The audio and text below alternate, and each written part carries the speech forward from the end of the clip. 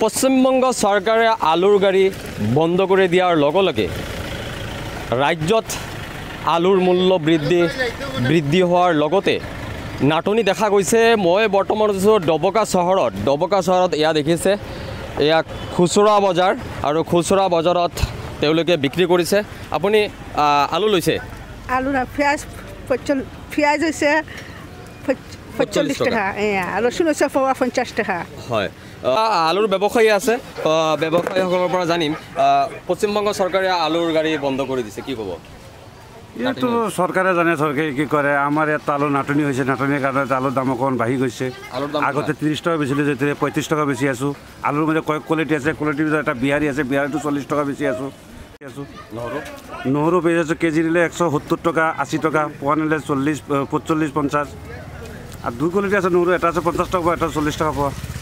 হয় ইয়াৰ খুচুৰা ব্যৱসায়ীসকলৰ ভাষ্য আৰু সমান্তৰালভাৱে ইয়াৰ পাইকাৰী ব্যৱসায়ৰ পৰা জানিম যে কিদৰে পাইকাৰী ব্যৱসায় আৰু খুচুৰা ব্যৱসায়ৰ মাজত তাৰতম্য দেখা গৈছে। ইয়াৰ নহৰু নহৰু এশ ষাঠি টকাৰ পৰা দুশ বিছ টকালৈকে দাম বৃদ্ধি হৈছে নহৰুৰ কিলো। ছেম আলু আলু আলু অনুৰূপ ধৰণে দাম বৃদ্ধি হোৱা পৰিলক্ষিত হৈছে। আৰু বাৰ টকাৰ পৰা বৰ্তমান চল্লিছ টকা পঁচল্লিছ টকালৈকে আলু বিক্ৰী কৰিবলগীয়া হৈছে। ডবকা বজাৰত এয়া দেখিছে পাইকাৰী বজাৰ। আৰু পাইকাৰী বজাৰ ব্যৱসায়ীসকলৰ পৰা জানিম পাইকাৰী ব্যৱসায়ৰ পৰা জানিম। আচলতে বৰ্তমান আলুৰ আজিৰ দিনত আজিৰ মূল্য আলুৰ মূল্য কিমান? সাতাইছৰ পৰা আঠাইছ টকা কুইণ্টেল। সাতাইছশ টকা আঠাইছ আঠাইছশ টকা কুইণ্টেল। দুটা কোৱালিটি আছে। এতিয়া আপোনাৰ পৰা মাত্ৰ দহ মিটাৰ নিলঙত দহ মিটাৰ নহ'ব চল্লিছৰ পৰা পঞ্চল্লিছ টকা আলু বিক্ৰী কৰি আছে। খুচুৰা? হয় খুচুৰা। খুচুৰা পঞ্চল্লিছ নে বেচে চাগে বিহাৰটো আমাৰতো বেংগলটো এইটো ৰেট আছে। বেংগলটো চল্লিছ টকা বেছি আছে চাগে সিহঁতে। ইয়াত আপোনাৰ দাগি বচা ওলায় সৰু ওলায় সেইটো চল্লিছ কৰি পেলাই সিহঁতে পৰ্দাটো বেছি।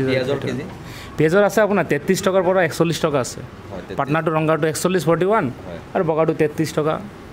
আৰু প্ৰভাৱ পৰিছে নে নাই যিটো বংগ চৰকাৰে এতিয়ালৈকে প্ৰভাৱ পৰা নাই চাগে পৰিব। কিয়নো আমাৰতো এইবিলাক যোৱাকালি অহা গাড়ী আহিছিলে পৰি অহা। এতিয়া ৰিচেণ্টলি যোৱাকালিৰ পৰা বন্ধ কৰিছে। সেই- সেইবিলাকতো এতিয়া আহিব নোৱাৰিলে প্ৰভাৱটো নিশ্চয় পৰিব। অলপ নাটনি নিশ্চয় হ'ব পাৰে। নাটনি হয়। ব্যৱসায়ীসকলেও নাটনি হ'ব বুলি তেওঁলোকে আশংকা কৰিছে এয়া দেখিছে। তেওঁৰ যিহেতু পূৰ্বে এয়া তেওঁলোকৰ আলুৰ বস্তাসমূহ বা আলুৰ ট্ৰাক আহিছে। আৰু তেওঁলোকে ইতিমধ্যে আপোনালোকৰ ইতিমধ্যে মজুত আছে? কিমানলৈকে গ্ৰাহক আজিলৈকে মোটামুটি এপ্ৰক্স তিনিশ পেকেট ষ্টক আছে। ষ্টক আছে। কিমানলৈকে চলিব টবকাত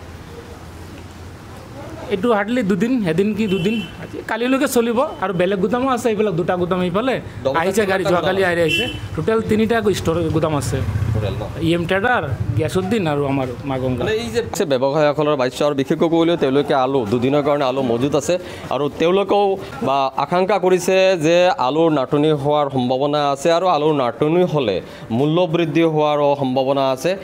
ইয়াত দেখা দেখা গৈছে ৰাজ্যত এক প্ৰকাৰ আলুৰ দাম আলুৰ দাম বৰ্তমান পঁয়ত্ৰিছৰ পৰা পঞ্চল্লিছ টকালৈকে বিক্ৰী কৰা পৰিলক্ষিত হৈছে খুচুৰা ব্যৱসায়ীসকলে আৰু যাৰ বাবে গ্ৰাহকৰ মাজত ব্যাপক হাহাকাৰময় পৰিস্থিতিৰ সৃষ্টি হৈছে।